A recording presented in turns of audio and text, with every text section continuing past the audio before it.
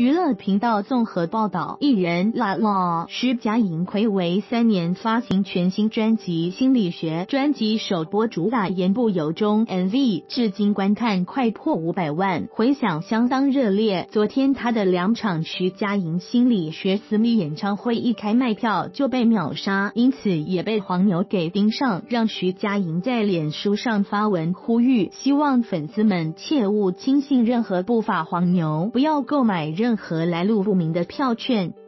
徐佳莹的独特嗓音和高超歌唱技巧早已累积不少粉丝。这次新专辑歌曲照例攻占各大音乐榜，昨日票一售而空，让她在脸书上开心发文。很多低眉强盗之类向我撒下秋冰阵 K 法相聚的，但随即被不法黄牛盯上，一张六百元的票最高喊价破万，让他怒戴妹妹头假发和红色墨镜开直播抵制黄牛记者会。不过随后。就删除直播影片，徐佳莹被不法黄牛盯上，票价被喊破天际。翻摄自脸书，徐佳莹的歌唱实力备受肯定。翻摄自脸书，徐佳莹暌违三年出新专辑，攻占各大音乐榜，成绩亮眼。翻摄自脸书，